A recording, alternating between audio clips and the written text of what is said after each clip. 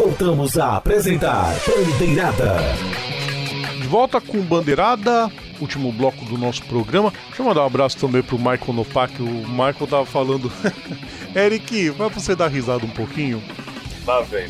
É. O... Ele tava falando do final da Indy. Que esse final de temporada na Indy vai ser muito legal. Menos pro Alexander Ross, que dessa vez ficou no cheirinho. Bom, o patrocinador do, do Ross é Napa, né? Dá pra entender por que, que ele ficou no cheiro. Esse ano foi. Esse ano foi terrível pro Ross. Aliás, o ano terrível, o, o, o Rodrigo, só, não, sei, não sei se a gente mencionou isso aqui, mas só pela zoeira. O, o, o, o Vettel comprou uma, é, uma sim. das Williams do, do Mansell de 92. Sim. Não é a miniatura, não. O carro mesmo. O ele carro. comprou. Ele teria dado 2,7 milhões de libras, né? Por, pelo carro que tava, era, da começa, era da coleção do, do, do, do Ser Frank. E eu acho que, deve ser, acho que ele fez isso porque ele tava com, é, é- é a única forma dele conseguir pegar um carro bom, né? É, o pessoal começou a falar isso. Ah, ele pode colocar o Williams pra correr aqui, acho que ia ser mais rápida.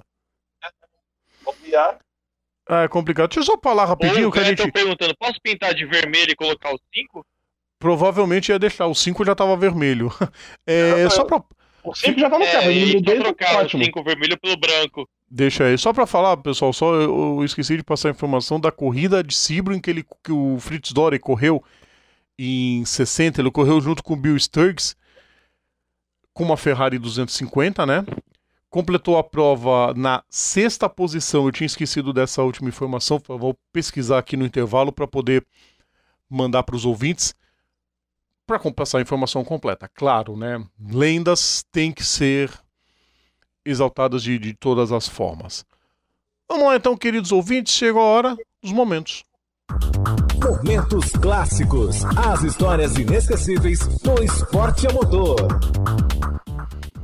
Foram 48 anos seguidos, com um pequeno hiato no ano de 80, que o Carlos vai descrever um pouquinho mais. E aí a gente vai explicar o porquê de, desse ano de 80.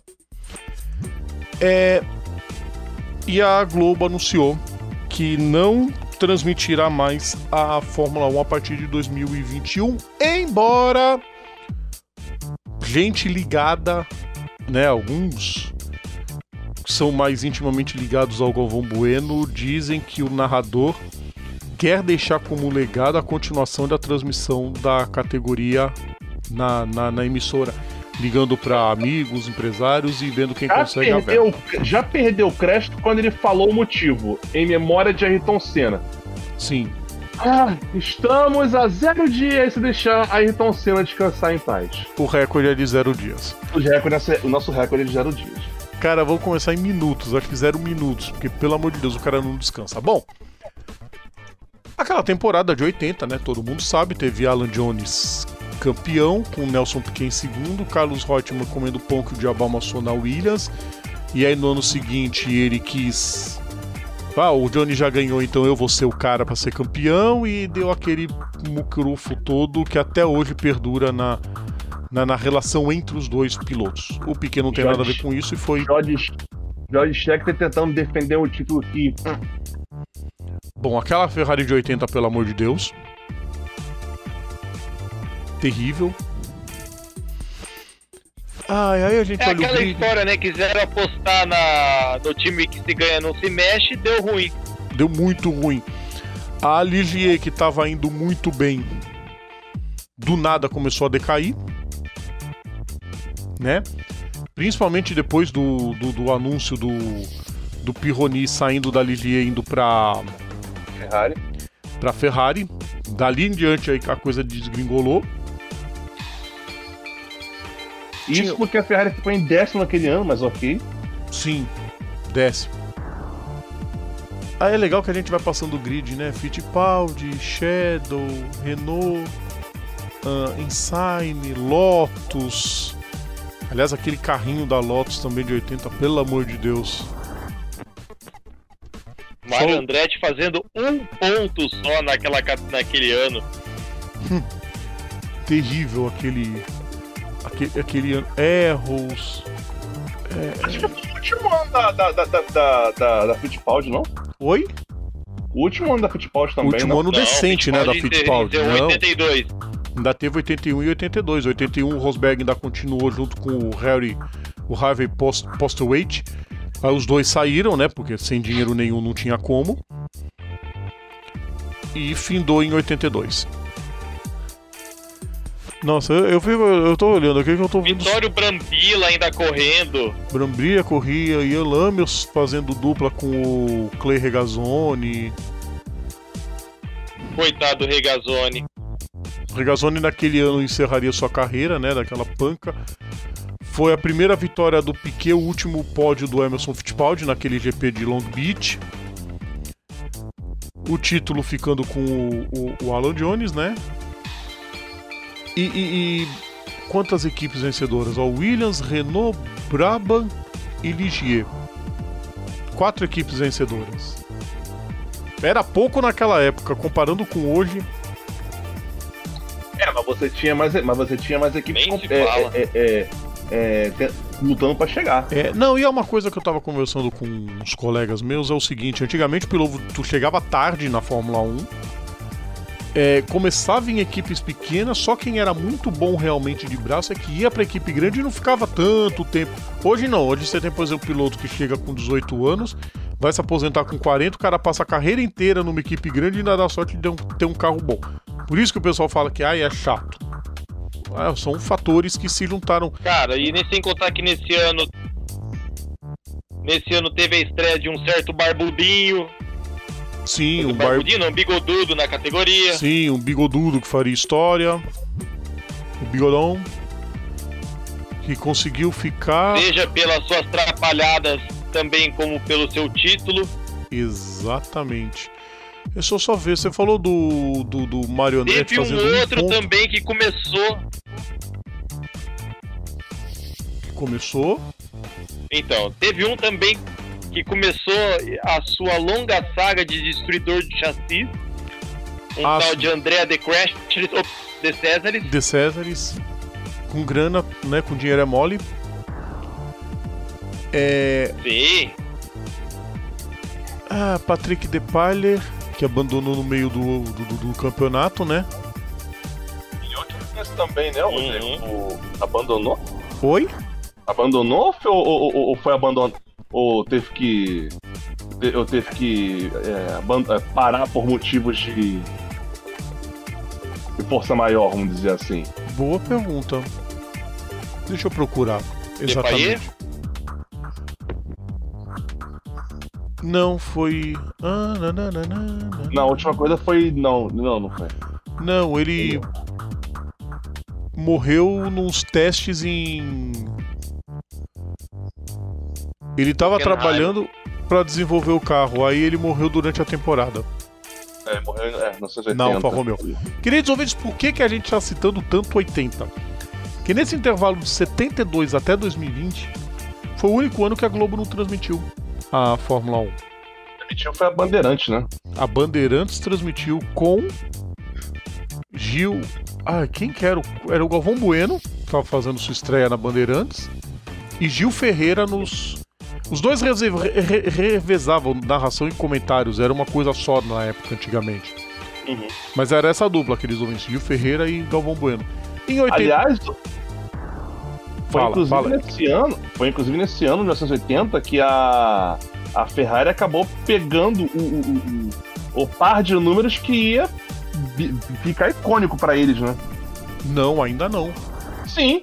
Porque olha só, porque No- o Alan Jones foi campeão no final do 80 era 1 e 2. 80 era 1 e 2, Eric. A Ferrari ganhou em Sim, então, meu 79. filho, foi, então, foi graças a esse ano, 1980, que a Williams, correndo de 27 28, Ah, fez sim. com que a Ferrari pegasse os números que Que depois os viriam eternizar a equipe. por- Sim. durante anos. Não, aí sim.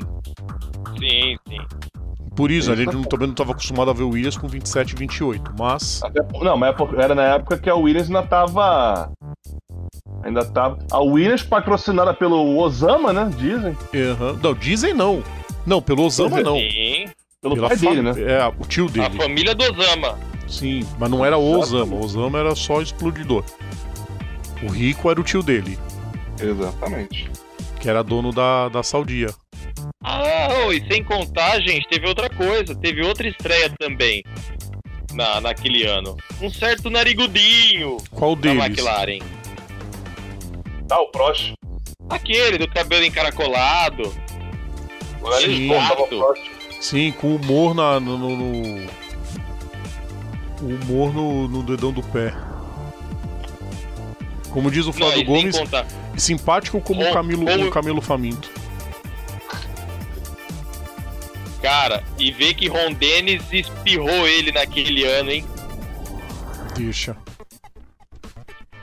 Exatamente. Aí ele foi.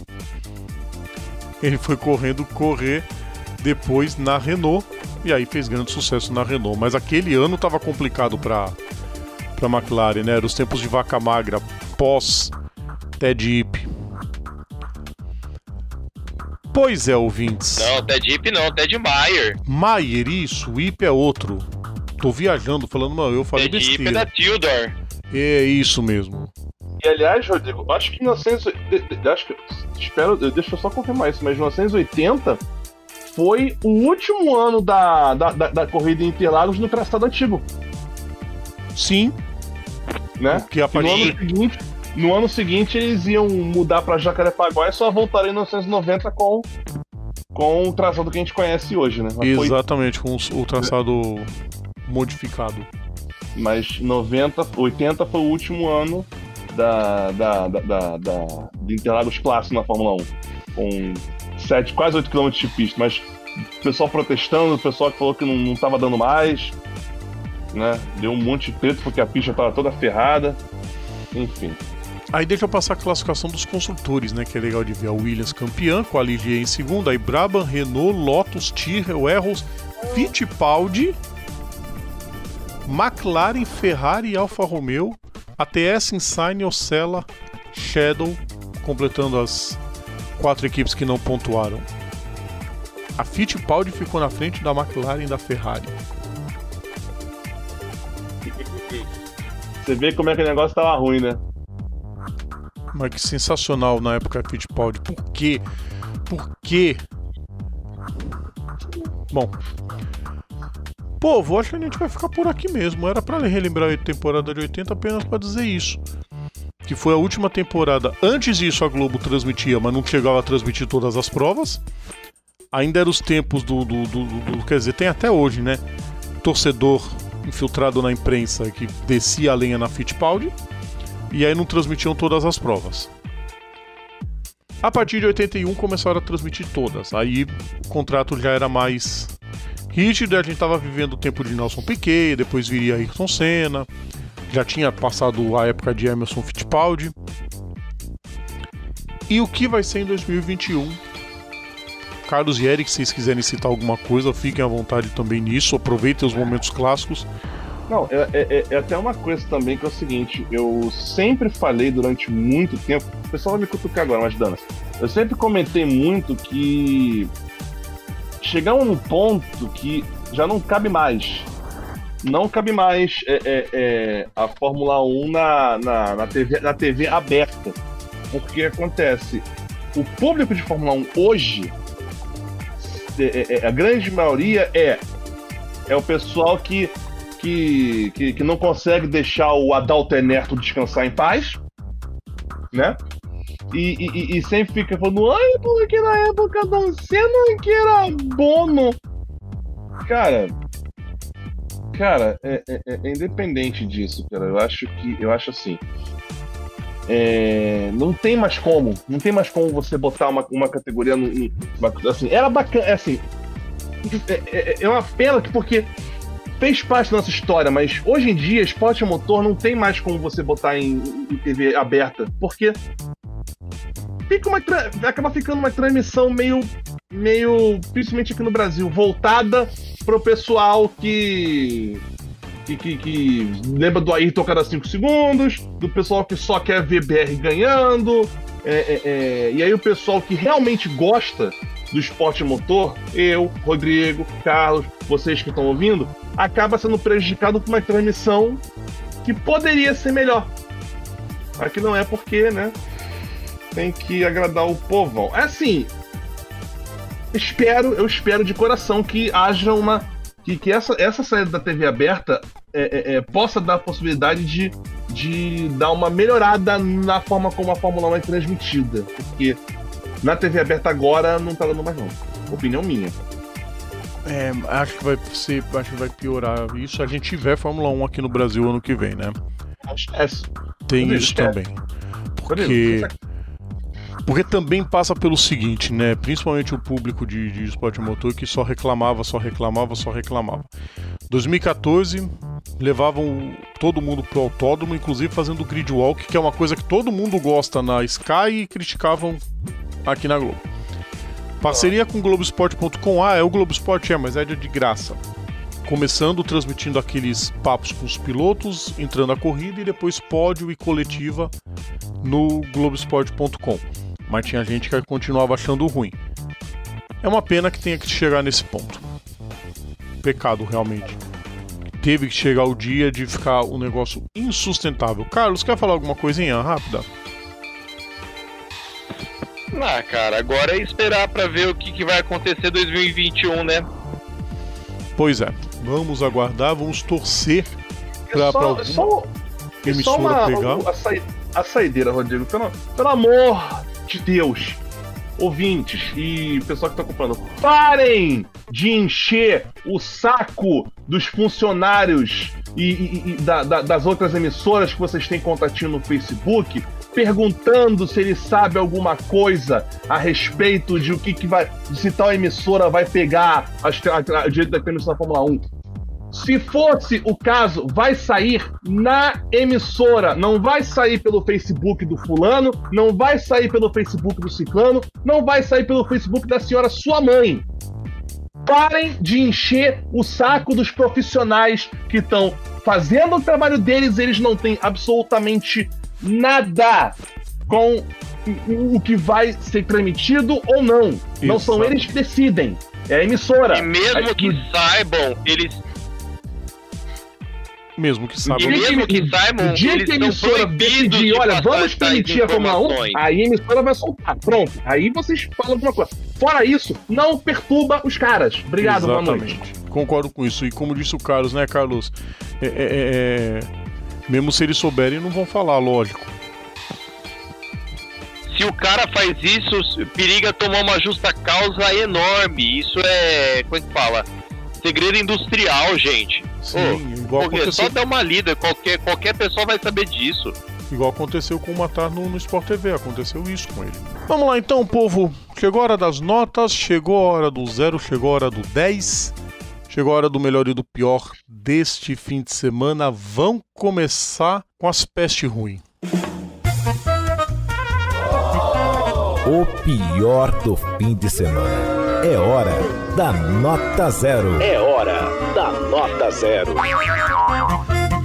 Eric, bom, ó, povo, temos oito minutos pra gente encerrar o programa. Então vamos lá, começando com. Vou começar com o Carlos. Carlos, o troféu capotagem com tanque vai pra quem?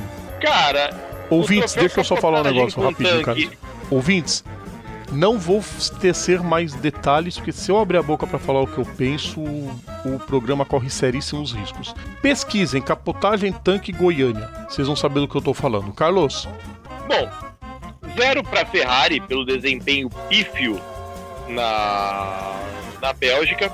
E, bom, zero pra, pra Ford, que poderia dar uma despedida um pouco menos melancólica pra Tony Canaan. Ele não merecia isso.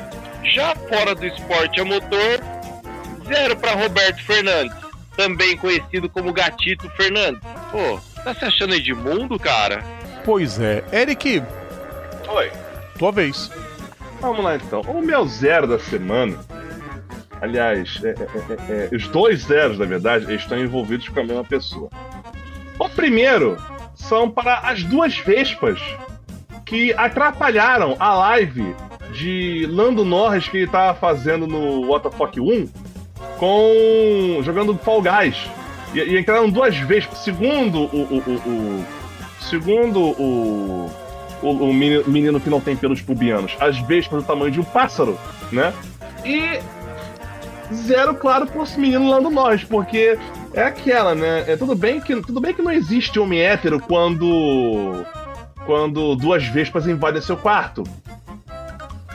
Mas cara, pegou mal. E outra coisa, aspirador de pó, velho. Pra pegar as vespas. Tudo bem, as vespas, ele conseguiu dar o fim nas vespas, mas pô. Bom, não sei. Eu... Muta o microfone, cara. Eu com eu com com abelha eu sou um terror, né? Porque eu sou alérgico, você imagina. Um... Rodrigo já. Rodrigo, tu, vê esse, eh, eh, tu chegou a ver esse negócio? Eu vi, mas um pterodáctilo daquele entrando no, no, no, no, Entrando no cômodo, pelo amor de Deus. Eu também não sei nem como eu reagiria, na boa.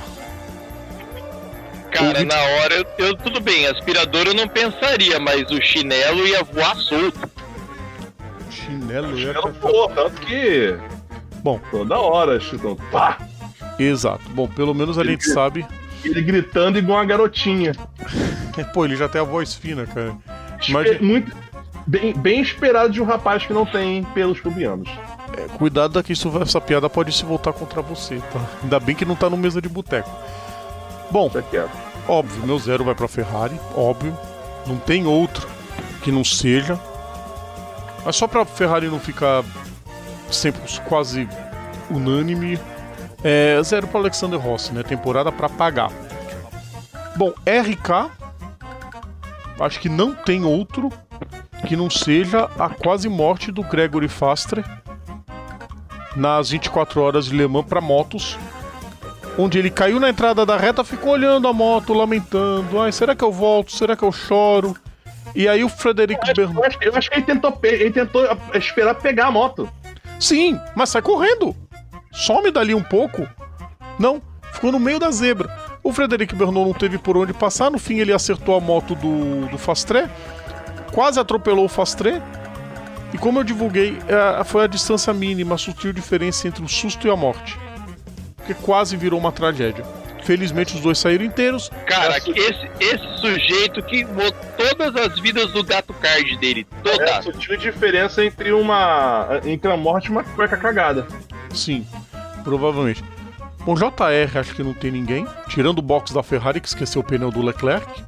Não, a Ferrari. Ou do. E a ou... largada de, de Gateway, prova 1? Também. Ali foi um salseiro geral. mais lambança que aquela? Ali foi um salseiro geral. Vocês têm algum, alguém que falou que não devia esse fim de semana? Eu não lembro de ninguém. Não, falar não. Então, pela primeira vez, depois de muito tempo, não tem o, o, o groselha da semana. Vamos pro 10, gente. Vamos chamar o Zulu aqui na parada. Tá na hora da nota 10. Nota 10!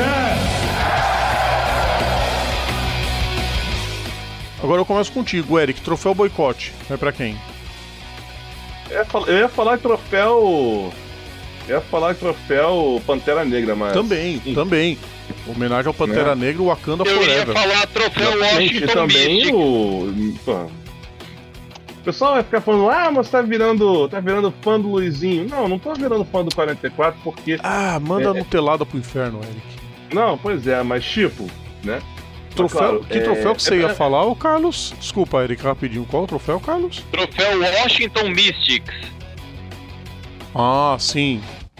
Para quem não sabe, o Washington Mystics é o time feminino da WNBA, onde nessa semana, devido ao que é mais um momento em que a polícia despreparada fez com Jacob Blake, 10 jogadoras colocaram o, em sequência o nome do jogador da do, do Jacob e na parte de trás da camiseta branca marca de 7 tiros, que foi o que ele tomou nas costas.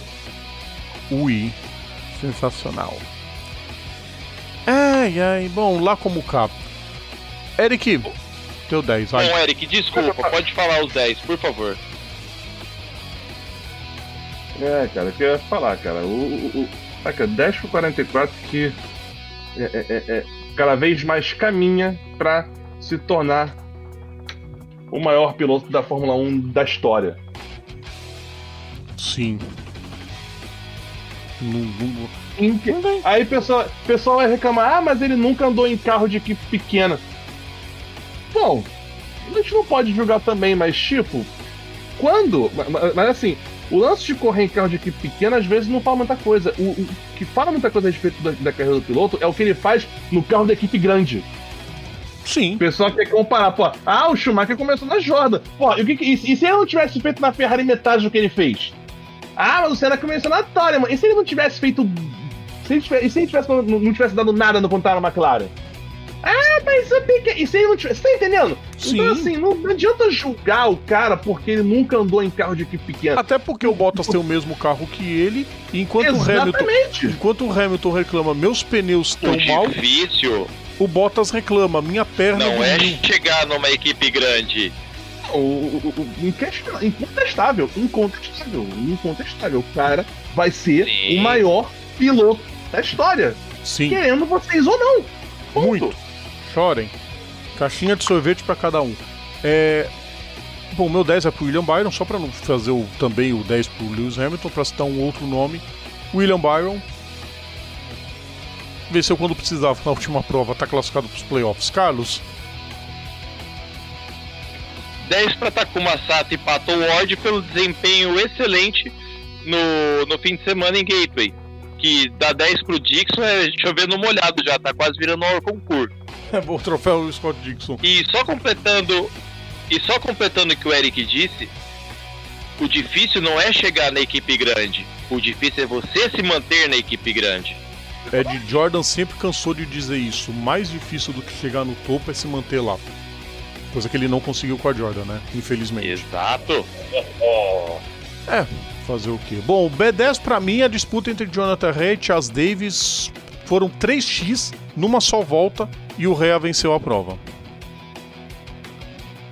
Eu colocaria Takuma Sato na volta 180 da primeira prova de Gateway. Sato a passada contra... que o Ward tá, tipo, olhando pro, pro retrovisor direito, tipo, de onde esse japa surgiu. Exato, foi belíssimo, por fora. O Gateway é difícil pra caramba ultrapassar por fora. Foi sensacional, realmente. Vocês têm mais alguma coisa para falar?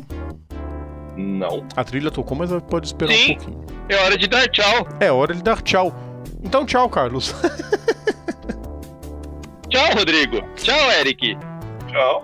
Tchau pra você também, Eric. Tchau pra todo mundo e semana que vem a gente tá aqui de novo. Semana que vem estamos de volta. Queridos ouvintes, mais uma vez, muito obrigado pela audiência, mais uma vez, obrigado pelo carinho, mais uma vez, obrigado pela companhia. Lembre-se sempre, hashtag Programa Bandeirada para vocês comentarem nosso programa nas redes sociais de sua preferência e sigam as nossas, é claro. Semana que vem a gente está de volta. Um abraço a todos. Tchau. Bandeirada. Bandeirada.